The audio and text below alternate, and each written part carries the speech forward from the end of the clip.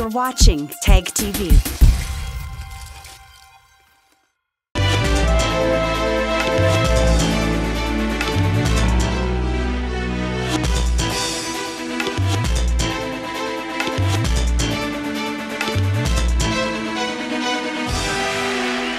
From Kashmir to Kanyakumari, India is a spellbinding mosaic of culture, tradition, languages, and an extraordinary mingling civilization. Keeping its age old culture maintained, today the country is taking huge strides in the path of development. Hello, I'm your host Uzma Jafri, and today in our episode of My India, we bring you some of the stories that will give a glimpse of our country's diversity.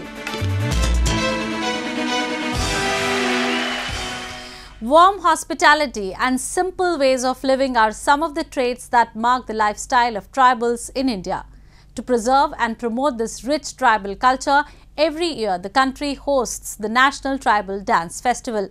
So today we will begin the show by taking you to the 11th edition of the festival that was organized in Odisha's capital, Bhubaneswar. The rich tribal culture and traditions of the country was recently on display in Bhubaneswar as it hosted the three-day National Tribal Dance Festival. Organized by the Scheduled Castes and Scheduled Tribes Research and Training Institute or SCSTRTI in the city, the festival presented as many as 30 colorful dance forms of 20 tribal communities from across the country giving the spectators a glimpse of dance traditions of tribal India. The event is aimed at preserving, propagating, and popularizing the cultural wealth of tribals from different states of the country. This kind of you know uh, arrangement of National Tribal Dance Festival is also giving an opportunity to know each other between the tribal communities and we found, you know, over the years and even this year, many states who have come with their, uh, you know, troop leaders are taking the address of many other tribal communities just to invite them to their state. This kind of exposure, this kind of interaction is definitely going to, you know, mm, uh, ensure that this tribal dance form, which is so very important part of tribal culture, is going to survive the distance. The enthusiasm showed by the tribal dancers very well reflected the love for their culture. All the dances were mostly performed in semicircles, accompanied with the powerful beats of drums and other musical instruments. One among them was Shimlam dance, which was performed by the members of Rongmei tribe.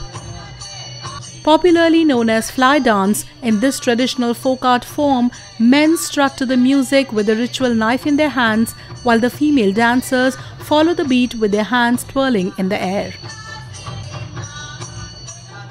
ये dance है हम लोग का festival के समय में हम लोग हबरेसिंग का फेस्टिवल के समय में हम लोग ये डांस करते हैं और वो जनवरी फरवरी ऐसे में हम लोग ये फेस्टिवल एक गांगाई बोल के इसमें हम लोग ये डांस करते हैं Karma dance performed by the Oraon tribe of Orissa also left the spectators awestruck. This pastoral dance is usually performed during the worship of the god or goddess of fate, Karam Devta or Karmasani Devi, whom people consider the cause of good and bad fortune. During the event, the performance of artists symbolized Baha, the festival of flowers. हम बाहा festival के ऊपर dance किए हैं। इस festival पे ज़्यादातर लोग सरगी फूल को पूजा करते हैं और इसे फ्लावर फेस्टिवल भी कहा जाता है। भारत में लगभग 700 से ज़्यादा ट्राइबल कम्युनिटी है और यही खासियत है कि वो नेचर वर्शिप करते हैं और उनका सब जो कि ट्रेडिशनल फेस्टिवल्स है, वो एसोसिएट है डांस और सेलिब्रेशन से। अगर ऐसा प्लेटफॉर्म मिलता है जो हम लोग जैसे कॉमन पीपल हैं उनके लिए एक नॉलेज हब टाइप का है और यहाँ पे आके हमें पता चलता है कि how much they are interact like interacting with their dance form और कैसे वो उसको लाइक जान लगा के करते हैं। तो ये जो स्पिरिट उसमें होता है, वो हम तक भी आता है और ये अच्छा लगता है देखने के बाद कि कितना वैरायटी डाइवर्सिटी है हमारे भारत में और इसको एक प्लेटफॉर्म मिलने से हमें भी प्राउड फील होता है। National Tribal Dance Festival is altogether a great platform where hundreds of participants through their performances showcase the diverse traditions and myriad cultures of the erstwhile forest dwellers. In addition, it also provides a unique opportunity to urban masses and tourists to acquaint themselves with the traditions that are essentially rooted in pagan customs and nature. Religious harmony and peaceful coexistence are deeply imbibed in the societal framework of India. Examples of this harmonious existence are seen on an everyday basis in different nooks and corners of the country. Citing a similar example, we will take you to Kalburgi district of Karnataka, where a Padyatra or procession was organized by the Jai Bharat Mata Seva Samiti to spread the message of unity and brotherhood. Idols of Lord Rama, Chhatrapati Shivaji and Baba Sahib Ambedkar passed through the streets of Kalburgi city as a reminder of the bond of harmony which ties all the citizens in a common cord of brotherhood. The scene was witnessed during a procession which was carried out by Jai Bharat Mata Seva Samiti with the motive of spreading communal harmony. इस यात्रा को every जगह पर मुस्लिम भाई, दलित भाई, सिख भाई, Hartley और voluntarily आके इसको स्वागत किया है। हमारा एक ही मकसद है, पूरा दुनिया को ही दिखाना है, हिंदुस्तान, हिंदू, मुस्लिम, सिख लोगों का एक धरती पुण्य भूमि है। यहाँ कभी भी जात पात के ऊपर जो लोग लड़ना नहीं सब लोग देश के लिए लड़ना है देश एक है माँ भी एक है उस एक माँ का हम सब संतान है 130 करोड़ लोग हम एक है ये मैसेज हम इस यात्रा से पूरे दुनिया को दे रहे हैं The procession was headed by Om Hava Malinath Muthya, a famous seer who has been doing it for years. The procession included photos and idols of gods, idols and saints of different religions to spread the message of inclusivity and oneness. The procession started from Basavana Bagewadi, the birthplace of 12th century scholar and social reformer Basavana. People of all religious communities took part in the procession. आज हिंदुस्तान में कर्नाटक तो नहीं बोलता हूँ हिंदुस्तान में ऐसी शख्सियत बहुत कम है तो हिंदू मुस्लिम सिख के साथ तमाम लोगों को लेकर चलने की उनके पास जो ताकत है बहुत बड़ी बात है मैं एक मिसाल देना चाहता हूँ बीच में रमज़ान में दावत इफ्तार उन्होंने आलंद में दिए हैं। दे के हिंदू मुस्लिम सिख का भाईचारे का एक सबूत उन्होंने पेश किए हैं आपको सामने, आपको सबको मालूम है। तो उसके लिए हम तमाम हमारे हिंदू मुस्लिम सिख के साथ खास करके मेरे मुस्लिम भाइयों से मैं गुजारिश करता हूँ, ज़्यादा से ज़्यादा आके बसों कल्याण में अगर शिरकत करेंगे तो ये बहुत बड़ी बात है, क्योंकि हमारे को लेके चलने वाले जो हवा मलिनाथ मुद्दे हैं, उसके लिए अदमन अदमन गुजारिश करता हूँ कि आप आके अच्छे से अच्छा After reaching Kalburgi, the procession is heading towards the city of Basava Kalyana. Now a roundup of some of the major stories that made news recently.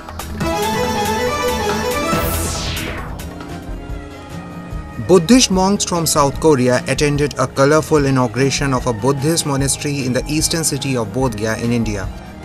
South Korean ambassador to India, Chang Jae-bok, was also present for the opening ceremony of the newly built monastery.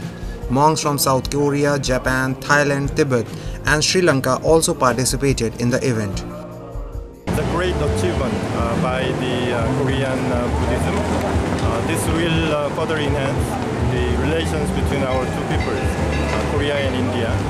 And I hope that the, there will be more people-to-people exchanges um, the, Um, especially uh, many uh, Korean uh, Buddhists coming to Bodh Gaya to visit this the Punangsa temple in Bodh Gaya.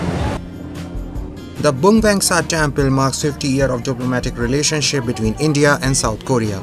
Bodh Gaya is revered by the Buddhists since Lord Buddha is believed to have attained enlightenment under a tree at this place.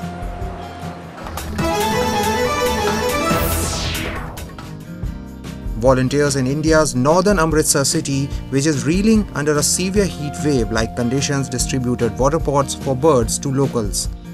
Like humans and other animals, winged creatures have also been hit by the sudden rise in temperature as most of their drinking water sources have dried up, leaving them at the mercy of humans. जितनी गर्मी पड़ रही है हम आए दिन देखते हैं पंछी पानी की वजह से सड़कों पे मर जाता है हम और हम हमें एक महसूस हुआ कि इंसान तो इंसान को अपना दुख तकलीफ़ बोल के बता देता है लेकिन पंछी जो होता है वो किसी को कुछ बोल नहीं पाता और हमने एक छोटा सा उपराला शुरू किया है फ्री डिस्ट्रीब्यूशन है कसौरों की ताकि लोग अपनी छतों पे ये रखें To rescue the birds, social workers in the city were seen giving away earthen pots to commuters as they said if people can place these pots on their terraces and fill them with water, it can bring relief to the birds.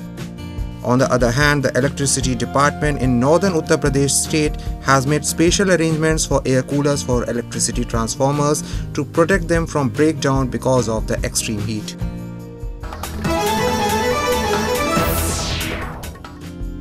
Cast and crew of upcoming comedy drama Jug Jug Jio released the trailer of the film in India's western Mumbai city. Bollywood actors Anil Kapoor, Varun Dhawan, Karan Johar, Kiara Advani, Neetu Kapoor and Manish Paul were present during the launch event where they danced, posed for photographs and interacted with fans. We thought that the very first film that Dharma Production should come out with should be a burst of color, a burst of celebration, a a full of family, full of love, and be an all-around, all-round entertainer, which has music in, in, in huge measure, entertainment in huge measure. And so we thought that to open the box office gates for us at Dharma Productions, there couldn't be a better and bigger film than Jug Jug Jio. And so here we are. Jug Jug Jio marks the return of a film by Indian production and distribution company Dharma Productions in theatres amid declining cases of coronavirus. Directed by Raj Mehta, the story of the film revolves around two couples belonging to different age groups and their issues after marriage. The film is slated to hit the theatres on June 24.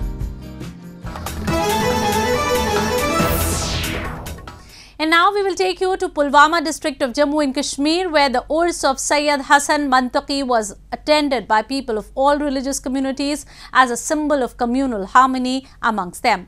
Take a look. Cutting across the religious lines, hundreds of thousands of pilgrims thronged the Dargah of Sayyid Hassan Mantaki in Pulwama district of Jammu and Kashmir. The Dargah witnessed pilgrims coming together in the spirit of humanity and commemorated the Urs or death anniversary of the Sufi saint. During Urs, devotee including women and children offers prayers and holy chadars at the shrine. यहाँ बहुत सारे लोग आते हैं वो सिर्फ मुसलमान तबके से ताल्लुक़ नहीं रखते बल्कि गैर मुस्लिम यहाँ बहुत आते हैं मैंने यहाँ अपनी आँखों से देखा है। मैंने अपनी ज़ुबान से इंटरेक्शन की है कुछ लोगों से। जो गैर जो गैर मुस्लिम थे, वो यहाँ आए, सिख कम्युनिटी से आए यहाँ हिंदुज़म आए, ईसाई भी यहाँ आए। वो से उनका यही कहना है कि ये जो सूफीज़म है, ये जो आस्तान आलिया है, हम यहाँ अपनी मुरादें लेके आते हैं और उन मुराद, जो हम मुरादें लेते, लेके, ले लेके आते हैं हमें वो मुरादें पूरी होती है यहाँ Dargah holds great significance as it welcomes people of all faiths to seek oneness with God and plays a distinctive role in narrowing the boundaries of religions and boosting secularism in the country. The date of the Urs is decided according to the Islamic lunar calendar. Priests and scholars gave religious sermons and recited verses from the Holy Quran. Syed Hasan मंतकी साहब की ज़ियारत मुबारक पर न सिर्फ़ मुसलमान तशरीफ़ ले आते हैं, बल्कि गैर मुस्लिम भी यहाँ पर तशरीफ़ ले आते हैं। उन्हें भी इनकी बारगाह में मोहब्बत, सुकून और प्यार की जो तालीमत है, वो उसको अपने कलब में महसूस करते हैं और तशनगान जिनके जो हाजात होते हैं, मसाइल होते हैं या अपने मामलात होते हैं, वो इनके तवसल से, इन नफूस कुदसिया के तवसल से अल्लाह की बारगाह में पेश करते हैं। The message of peace and brotherhood comes out loud from these dargahs and these sites have been acting as symbols of communal harmony for ages. In line with the vision of Prime Minister Narendra Modi to provide a platform for women, artisans and craftsmen to promote their products, the Airports Authority of India has taken an initiative to allocate space at its airports to self-help groups or SHGs to sell their locally developed products. The opportunity is being provided under AAI's initiative Avsar, meaning airport as venue for skilled artisans in the region. Under the scheme, an area of 100 to 200 square feet has been earmarked at each AAI operated airport.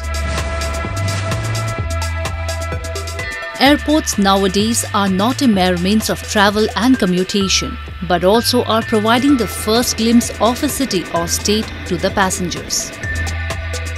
Domestic and international travelers arriving at the international airports in India will now be able to get acquainted with the state-specific handicrafts and local art. The Airport Authority of India has launched the Avsar scheme with an aim to identify India's diverse artworks and unique cultural heritage by encouraging local artisans and craftsmen and providing them with platforms to showcase their work. As envisaged by the Prime Minister under the scheme, the Airports Authority of India is allotting space to self-help groups at its airports to display locally manufactured products. यहाँ की आसपास की जो artisans है product हैं उनको display करने की भी एक जगह बने और यहाँ के आर्टिसंस को अपने प्रोडक्ट दुनिया को दिखाने का मौका मिले और उसके कारण उन्हें बाद में बेचने का भी मौका मिले इस भावना से किया गया है उम्मीद करते हैं कि उनके व्यापार को बढ़ावा मिलेगा उनकी कलाकृति को काफ़ी लोगों के पास पहुँचाने का मौका मिलेगा और एयरपोर्ट में जो पैसेंजर्स आते हैं उनको भी एक अपने शहर को एक अलग तरह से देखने का मौका मिलेगा The efforts of the Airports Authority of India are proving to be an important step in the direction of making these skilled and talented women artisans financially empowered and self-reliant.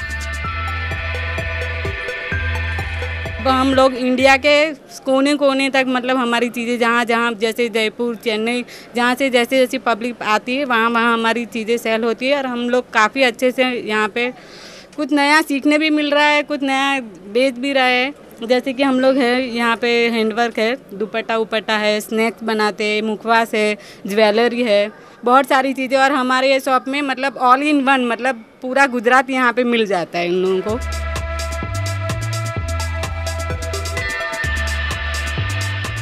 इसमें बहुत अच्छे कलेक्शन है। The material is very very good और बहुत सारे types के कपड़े हैं इसमें। इसमें आपको नायलोन है कॉटन है और जॉर्जेट है और collection is so good I am so satisfied government के इस स्कीम को मैं बहुत सपोर्ट करती हूँ और इसी तरह से गवर्नमेंट को वुमेंस का हेल्प करना चाहिए। I am I'm so impressed. Uh. With this scheme, new confidence is being restored among the artisans and their lives are becoming better with each day passing by.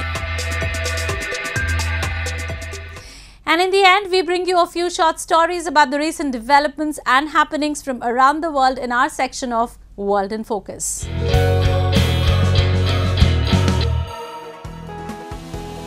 Researchers at the California Institute of Technology, known as Caltech, have shown off their drone that can fight back against powerful wind gusts, which would render most currently sold equivalents unusable, powered by machine learning, AI, and complex algorithms. The drone only weighs around 5 pounds, 2.3 kgs, but intelligently predicts how to react to winds in real time using a deep learning method developed by Caltech's engineers called Neural Fly, recalculating conditions around it 5 times per second and adapting its path. We're here in at Caltech where we're testing our drone in different wind conditions. Right now our wind simulator is running up to 50% speed, right that's 13 miles an hour and we're using smoke to visualize the airflow.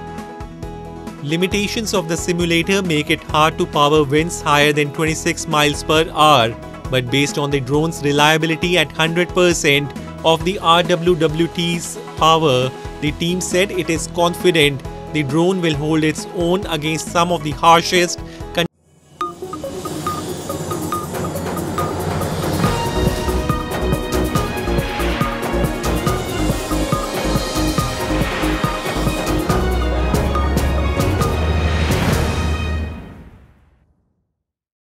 subscribe TAG TV YouTube channel and press the notification button.